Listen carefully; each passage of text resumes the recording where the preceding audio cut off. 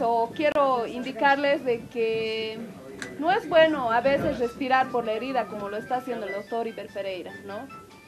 Eh, si el funcionario que era su hermano no cumplía con lo que correspondía y la alcaldesa tomó la decisión de alejarlo de la institución, pues debería de respetarse esa decisión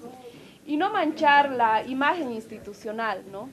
Eh, se cuestiona mucho la actividad institucional que está realizando la alcaldesa y me parece que hay miopía, y lo digo con todo respeto, porque hay muchas obras que se están ejecutando y me parece que el doctor Iber Pereira no quiere ver esta realidad o parece que le afecta mucho tener que, que darse cuenta que hay pues todas estas obras que se están ejecutando, ¿no?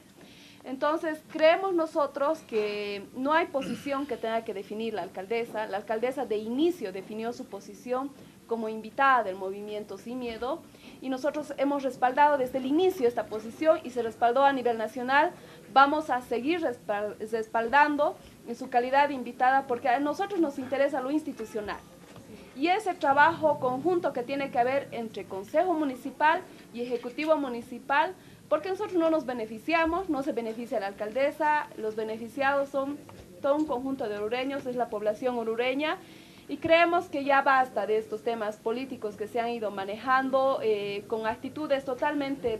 personales, ¿no? incluso de mala información que se ha llevado a la nacional y creemos que esto es también por lo que se avecinan elecciones en el mes de agosto y hay desesperación seguramente porque ya se deben sentir perdedores.